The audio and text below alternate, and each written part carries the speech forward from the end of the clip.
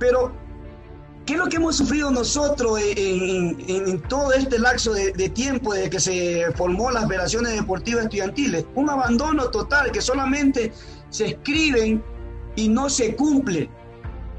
Entonces, para que se pueda ejercer eh, y que garantice los, derechos. Siempre, siempre yo he manifestado, ¿no? Que primero, sacar la política del deporte, pero que tiene que ser política pública para que garantice esos derechos.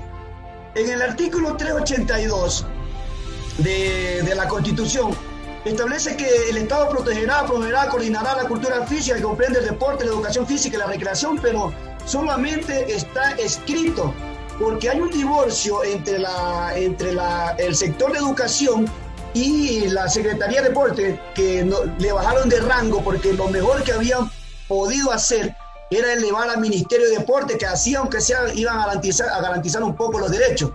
Pero se, retrocedió, se bajó a Secretaría de Deporte.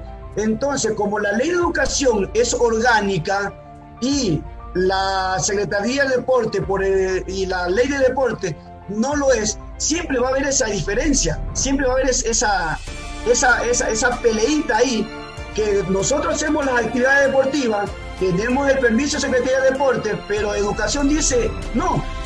Claro que hay sus honrosas excepciones, no tengo ese problema, pero en, en algunas provincias no permiten salir a hacer actividad deportiva. Y aquí hay un problema en cuanto a educación que cuando hablamos de educación solamente todo o todo mundo nos enfocamos a la parte académica. No,